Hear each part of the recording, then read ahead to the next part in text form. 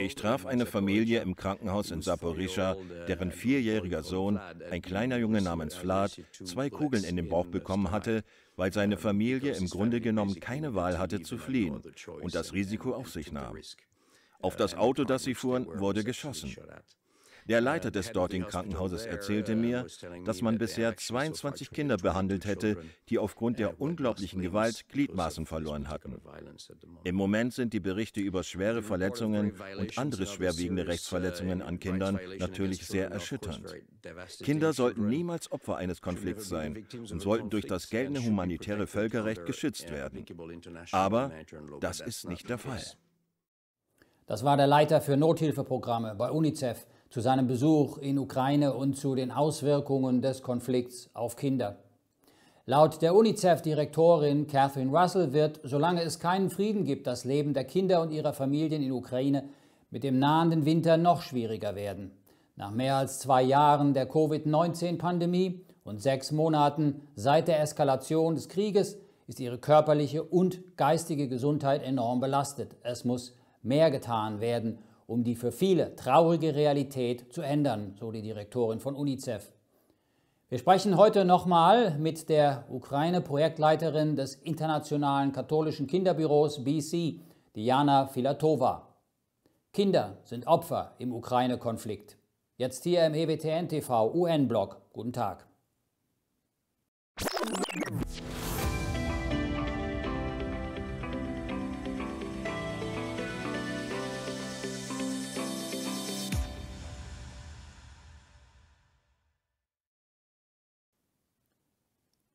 Ich begrüße jetzt erneut Diana Filatova von BC in Genf. Guten Tag, Diana.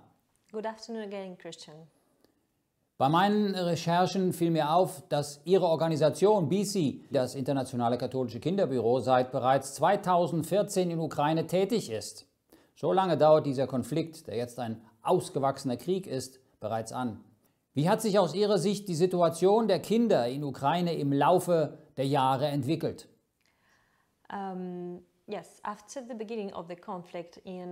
ja, nach dem Beginn des Konflikts im Jahr 2014 wurden viele Kinder und Familien aus der Ostukraine vertrieben und zogen in andere Städte und Regionen der Ukraine um. Kurz danach begann BC mit unserer ersten Schulungsreihe zum Thema Widerstandsfähigkeit für Psychologen und Sozialarbeiter, von denen einige tatsächlich aus diesen Konfliktgebieten kamen. Diese Schulungen ermöglichten es uns, sie zu unterrichten und gemeinsam zu lernen, wie die Entwicklung von Widerstandsfähigkeit von vom Krieg betroffenen Kindern und Familien gefördert werden kann. Danach setzte BC die Unterstützung unseres Partners in der Ukraine fort, aber nicht im Zusammenhang mit der Konfliktzone, sondern wir setzten allgemeine Projekte zur Vorbeugung fort und richteten zu dieser Zeit auch den ersten kinderfreundlichen Befragungsraum in Odessa ein. Gleichzeitig beobachteten internationale Organisationen wie UNICEF weiterhin die Schwierigkeiten von Kindern und Familien, die in der Nähe der Konfliktgebiete leben und sich über das Fehlen grundlegender Dienstleistungen wie Bildung oder Gesundheit sorgen, über wichtige Sicherheitsaspekte für Kinder und Familien und über das ständige Leben in Angst während dieser acht Jahre. Teil ihrer Arbeit ist auch die dringend erforderliche und wichtige psychologische Betreuung von Kindern, die Opfer von Krieg und Missbrauch geworden sind. Ja, ich denke, dass dies ein extrem wichtiges Thema ist. Und wir versuchen wirklich, dieses Thema von verschiedenen Ansätzen und Standpunkten aus zu bearbeiten. So arbeiten wir mit unserem lokalen Partner Ukrainisches Frauenkonsortium daran und auch mit der Unterstützung und dem Fachwissen der Widerstandsfähigkeitsforschungsgruppe der Katholischen Universität Mailand. Dann haben wir auch verschiedene Aktivitäten, die darauf abzielen, Familien und Kindern psychologische und psychosoziale Hilfe zukommen zu lassen auf unbürokratischem Weg wie eine psychologische Notfallhilfe und eine längerfristige technische Hilfe. Zuerst begannen wir nach Beginn des Krieges unsere Aktivitäten mit dem, was für uns am wichtigsten war, nämlich die Teammitglieder unseres lokalen Partners zu unterstützen, da sie selbst von dem Konflikt betroffen waren. Sie blieben in der Ukraine bei ihren Familien. Es war also sehr wichtig für uns, sie psychologisch zu unterstützen, damit sie sich nicht selbst kaputt machen und damit sie die notwendigen Ressourcen haben und finden können, um den Familien und Kindern weiterhin zu helfen. Dann organisierten wir eine Reihe von Schulungen für lokale Psychologen über den Widerstandsfähigkeitsansatz und diese Schulungen sollen ihnen helfen, bei den Kindern ihre inneren und äußeren Abwehrkräfte zu entwickeln, die ihnen helfen können, mit dem Konflikt umzugehen und ihre eigene Widerstandsfähigkeit zu entwickeln. So sind wir beispielsweise dabei, ein therapeutisches Buch, ein sogenanntes Schweigebuch, zu erstellen. Dieses Buch wird gedruckt und dann gezielt in ukrainischen Schulen verteilt.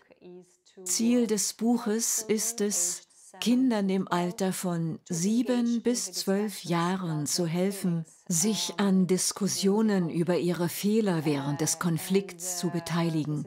Es handelt sich um ein recht einfach gehaltenes Buch mit einer kleinen symbolischen Geschichte und verschiedenen Bildern. Wir tun alles, um den Kindern zu helfen, mit ihren Freunden und den Lehrern darüber zu sprechen und zu diskutieren. Wenn die Lehrer sehen, dass einige Kinder besondere psychologische Schwierigkeiten haben, werden sie an speziell ausgebildete Psychologen weitergeleitet. Und zu guter Letzt planen wir jetzt die Eröffnung eines sogenannten Widerstandsfähigkeitsraums in Kiew.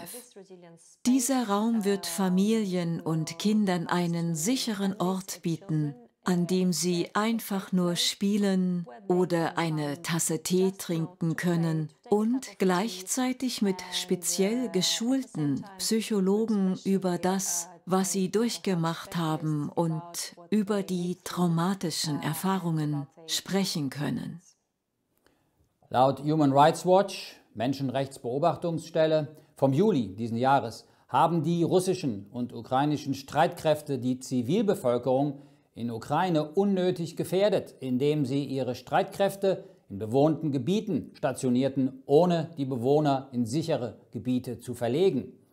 Das humanitäre Völkerrecht, das Recht des Krieges, verpflichtet die Konfliktparteien, so Human Rights Watch, alle erdenklichen Vorkehrungen zu treffen, um Zivilisten und zivile Einrichtungen unter ihrer Kontrolle vor den Auswirkungen von Angriffen zu schützen. Es reiche nicht aus, nichts zu tun und zu hoffen, dass Zivilisten nicht zu Schaden kommen, so Human Rights Watch. Wie wir von meinem Gast Diana Filatova ja eben hören konnten, besonders Kinder kommen zu Schaden. Diana, können Sie uns ein Beispiel, ein Zeugnis von einem Kind in Ukraine geben, das zeigt, wie sich ein Kind im Alltag inmitten des Krieges behauptet? Uh, yes, I had this uh, very good example of a very simple gesture. Ja, ich habe ein sehr gutes Beispiel für eine sehr einfache Geste, eine alltägliche Geste, die für dieses Kind wirklich zu einer Quelle der Widerstandsfähigkeit wurde. Es ist das Zeugnis eines jungen Mädchens aus der Ukraine. Wir haben es während der Workshops erhalten, die wir mit jungen ukrainischen Führungskräften organisiert haben. Und dieses Mädchen erzählte uns ihre persönliche Geschichte. Sie musste ihre Heimatstadt mit ihrer Familie verlassen und in eine andere Stadt im Westen der Ukraine ziehen. Und diese Situation deprimierte sie sehr. Sie wollte wirklich nicht umziehen. Sie wollte ihre Schule und ihre Freunde nicht aufgeben. Und so war sie nach diesem Umzug in sehr schlechter Stimmung. Sie wollte nicht mit ihrer Familie sprechen, nicht mit ihren Freunden, mit niemandem. Sie sagte uns, dass eine einfache Geste wie ein Knopfdruck für sie war. Es war, als sie in einen Supermarkt ging und dort ein Deodorant für ihr Zimmer sah. Und sie dachte sich, jetzt kaufe ich das, weil es mir vertraut ist und weil es mein Zimmer verschönern wird. Und dann sagte sie zu sich selbst, dass sie nun ihr Leben wieder beginnen könne. Ich glaube, obwohl sie auch nach dieser Geste immer noch Opfer des Krieges war, so hatte sie dennoch beschlossen, über ihr eigenes Leben zu bestimmen. Und ich denke, das ist für uns alle ein wirklich schönes Symbol der Widerstandskraft.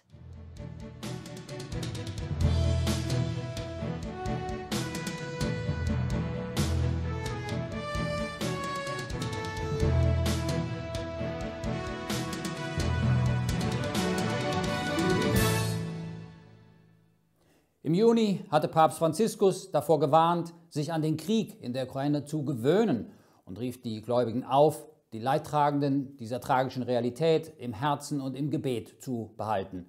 Und am 24. August, am Ende seiner Generalaudienz, sprach der Heilige Vater einen besonderen Appell für den Frieden zwischen Ukraine und Russland aus. Er sagte darin, heute, sechs Monate nach Beginn des Krieges, denken wir in besonderer Weise an Ukraine und Russland, beides Länder, die ich dem unbefleckten Herzen Mariens geweiht habe. Möge sie als Mutter ihren Blick auf diese beiden geliebten Länder richten. Sie die Ukraine, sie Russland und bring uns Frieden, betete er. Wir brauchen den Frieden. Vielen Dank fürs Zuschauen. Gottes Segen.